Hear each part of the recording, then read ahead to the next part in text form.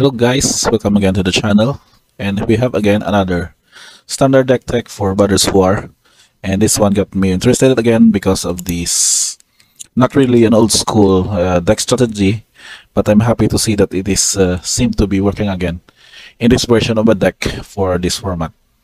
Now to check for this list we call it is the by Butch Lobster as the Abzan. I'll, I think I'll call this one as the Abzan uh, self-mill uh, aggro deck because it's really relies mainly on the self-milling of uh, having more creatures in the graveyard and benefits it as we go with these effects as you have more creatures uh, uh, milled there and having this uh, card advantage by your other creatures that uh, probably go inside with uh, this build.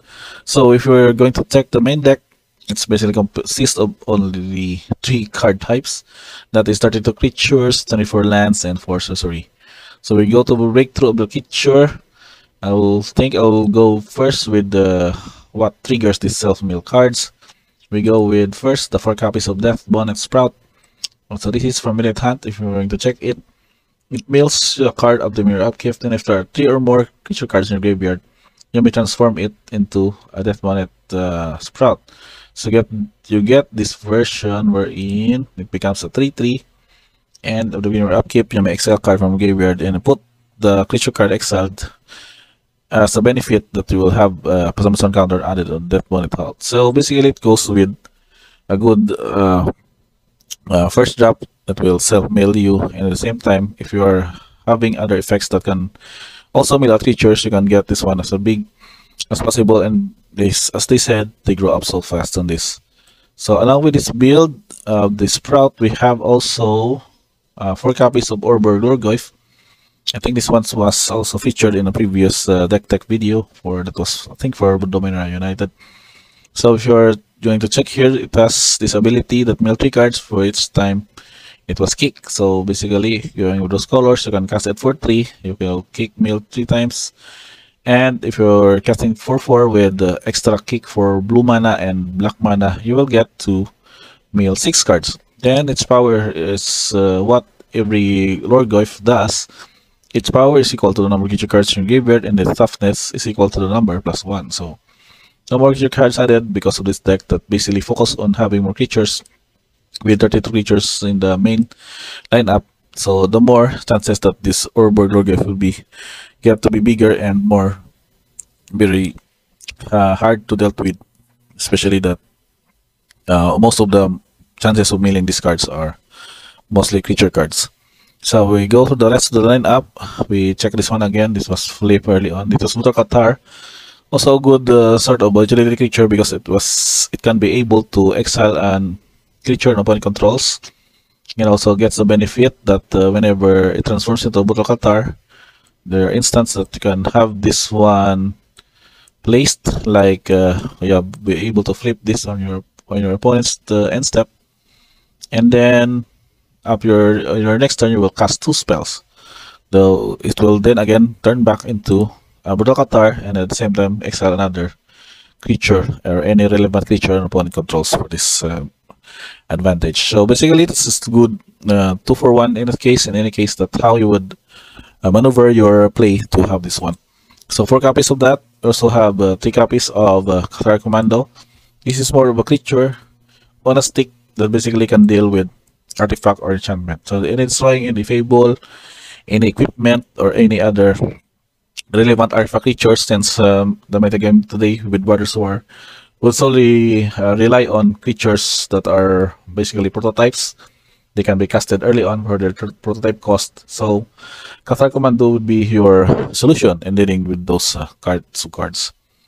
So take copies of those. We also have uh, Evolved Sleeper just being up to the curve is that because of this ability that can later on becomes a 2-2 and a 3-3 with the Phyrexian Human Cleric with a death touch counter and also a good mana sink in the late game because of its ability that can put a counter on it, then draw a card and you lose one life. So at the same time, still becomes a bigger threat as the game goes, and also provide you extra cards for your uh, other gas that might you need for this uh, matchup. So Gala Greeters again for our two drops with the four copies because of the creature decks uh, that are heavy on this. It goes with the benefit also to have this effect of having an alliance ability. So you have your three choices here to put person counters on it or put, create a top Treasure token to uh, ramp up your mana later on or you will gain life in case that uh, the damage race would be really relevant on those uh, certain matchups. So to make sure that it is effective, you get to play four copies of this in the main deck. Along with it, we have a new card. That is the Hero of the Dunes. This is from Brothers War. It will check its ability. It's a 5 to cast uh, 3 generic 1 white and black for a 3-2 human soldier that when it enters the battlefield, you may return target artifact, creature, or a creature card with mana value or less from your graveyard to the battlefield. So basically a good uh, reanimation effect on its own but it also gives you an also the anthem effect because of the creatures you control with mana value 3 or less goes to add an additional plus 1 plus 0 in their power. So if you're going to check our lineup, most of these, aside from Hero of the Dunes, are purely mana value 3 or less. So a good effect, it gets you a good advantage to return another creature, and at the same time, a mana uh, anthem effect that goes with this uh, ability. So two very good benefit in a card in one. So making it sure that we'll be able to utilize it by turn 5 as early as possible. Then you'll get have 4 copies of this in the main.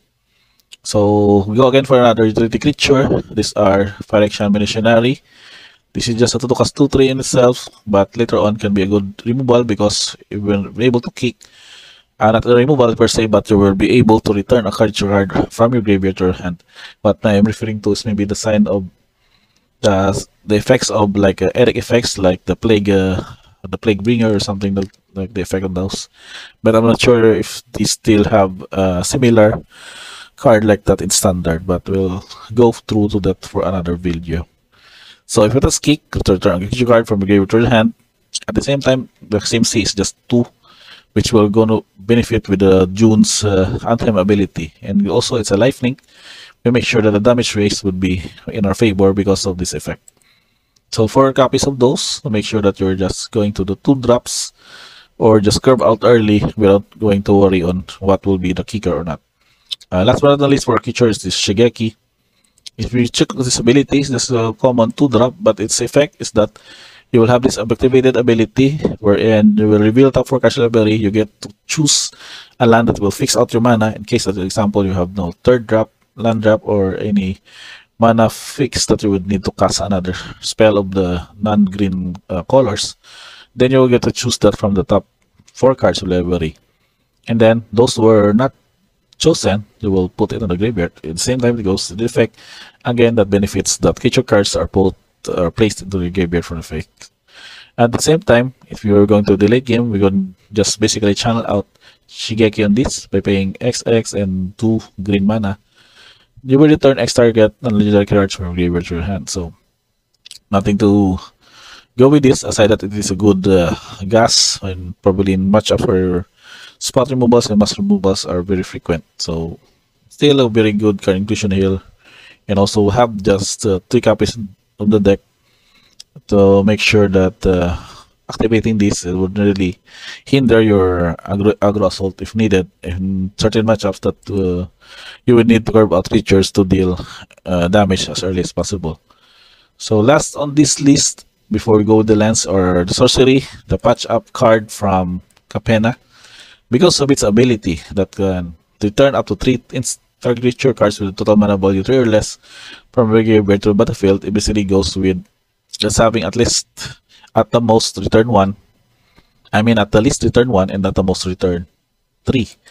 Because if we compared here the mana value, we have some several 1 drops here. We can have 6 and several 2 drops. So if we're going to patch up, either we go with a, a copy of Cathar Commando, a Deathbonnet Sprout, that, that is 2 cards. If there are instances that we will be able to return, for example, two evolved sleepers and two sprout and one sprout that is three mana in total and that is three creatures that is returned. So very good card advantage given on this. And a short gas that are uh, self mill to make sure that uh, you can patch up basically better than three. Any number or any definite creature that would benefit your uh, board So for your land matchups, uh, I mean the land distribution color would rely on the Abzan. So of course the short slow lands, black, green, and the pain lands, so the escape Koilos are added here along with this other card distribution and also supported by your utility channel lands, Takenuma, Boseiju, George and Eiganjo, City of the Empire, and of course, basic lands. Now for color distribution, we can check on this. Average mana value is 2.39. That goes with 2 to 3 mana cost, which is a very benefit for a good uh, creature curve. Our color distribution, we have uh, green for 15 and list uh, 19 for white and black is the 6 so it's merely white uh, based deck with the go with the green for mana fix and black as a splash but our uh, white producers distribution seem to be fair and also given that black goes would higher than that of white but still uh, given that we have uh, several dual lands here so considering that they can still produce white at the moment and not really a good not really a drawback on this uh, sense. And last but not the least, we only have a treasure token to use with this one. So overall, I think this is a good uh, deck to try out if you're going to go with just uh, the TG Arena or MTG Online. They have spare cards to uh, utilize this as given.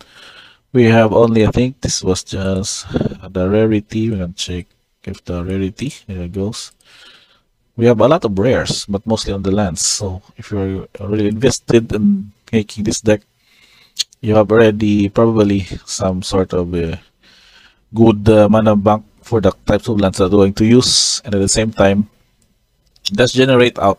Since the new cards here are probably just Urborg Lhurgoyf, which aren't that really popular in other builds, and Hero of the Dunes, which is just as uncommon card, and it's easily uh, utilize in case in arena that are you have uh, several uh, uh, uh, craft cards that can use for the uncommons.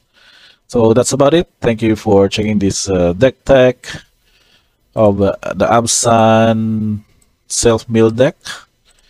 Uh, suggested by Sir Butch Lobster and MTG Goldfish. If you like this video, you can check more on this on the by uh, clicking on like and subscribe and the notifications bell would be also turned on for any updates that are instantly posted on this channel. Thank you for checking this video. Again, this is Mark, and until the next time, guys.